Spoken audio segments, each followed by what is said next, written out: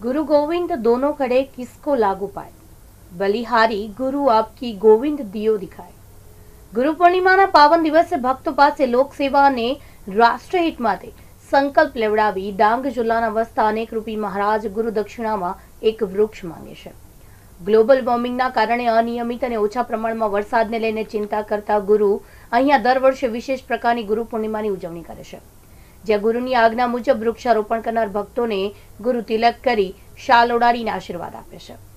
ભારતીય સંસ્કૃતિમાં ગુરુને ભગવાન કરતાં વધુ મહત્વ આપવામાં આવે છે.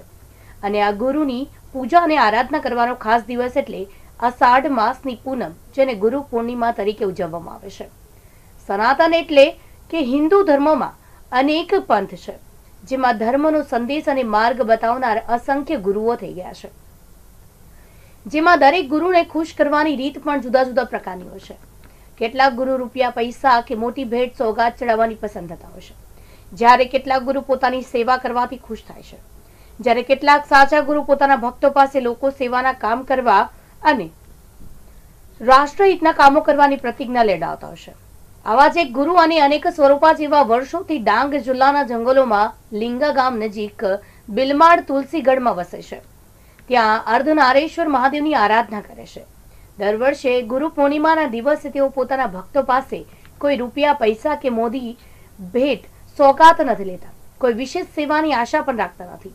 તેઓ ગુરુ દક્ષિણા રૂપે દરેક ભક્ત પાસે વૃક્ષારોપણ કરાવે છે અને વૃક્ષના જતન માટે સંકલ્પ લેવડાવે છે. ગુજરાત અને મહારાષ્ટ્રમાં વસતા અનેક સ્વરૂપ મહારાજના લાખો ભક્તો સેવકો દ્વારા ગુરુની આજ્ઞા મુજબ આજના દિવસે વૃક્ષારોપણનો કાર્યક્રમ કરવામાં આવે તુલસીગઢ ખાતે ગુરુની આજ્ઞા મુજબ ફળ, ફૂલ અને ઔષધિના છોડ લાવી તેને પૂજા કરાવવામાં આવી હતી અને મંદિર પરિસરમાં વૃક્ષારોપણ કરવામાં આવ્યું હતું. અહીંયા ગુરુ પૂર્ણિમાની વિશેષતા એ છે કે આજના દિવસે ગુરુની આજ્ઞા માનીને પોતાના વિસ્તારમાં લોકહિત માટેના વૃક્ષારોપણ કાર્યમાં યોગદાન આપનાર ભક્તોને અનેક રૂપી મહારાજ તિલક કરી સાલ ઉડાડી સન્માન સાથે આશીર્વાદ આપે છે.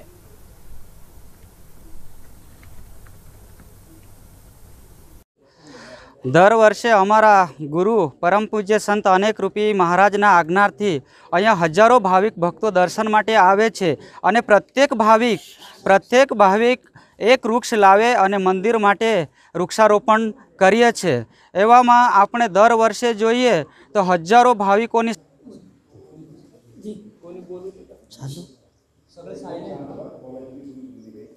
ઓમ નમઃ શિવાય. બધા ભક્તોને મારો અભિનંદન. આ શિવાર્ધ નારેશ્વરીના માધ્યમમાં અમે દર વર્ષે વૃક્ષારોપણનો કાર્યક્રમ કરીએ. એમાં અમારી એવી જાળવણી છે કે દર વર્ષે વરસાદ ઓછો જ થયા કરે. એટલા માટે અમારી બધા ભક્તોને વિનંતી કે વૃક્ષારોપણ વરસાદના કારણે અમે વધારે વરસાદ હોવો જોઈએ. અને દર વર્ષે આપણે જોઈએ કે બધા સૃષ્ટિમાં વરસાદ દર વર્ષે ઓછો જ થયા કરે. એટલા માટે અમે મંદિરના માધ્યમમાં અમે દર વર્ષે નવી નવી એવી નિયોજન બનાવીએ અને મંદિરના હિસાબે અમે વૃક્ષારોપણનું દર વર્ષે ગુરુ પૂર્ણિમાના આગલા દિવસે અમે કાર્યક્રમ કરીએ.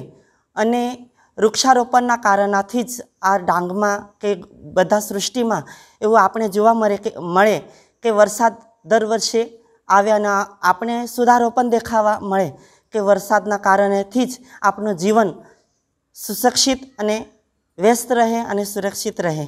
ઓમ નમઃ શિવાય. બીજું કંઈ?